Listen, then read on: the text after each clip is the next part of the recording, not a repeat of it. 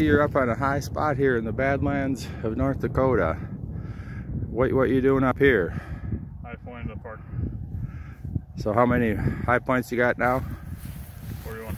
All right, congratulations. See some horses in the distance there. Looks about the same level all over here. Great panorama here.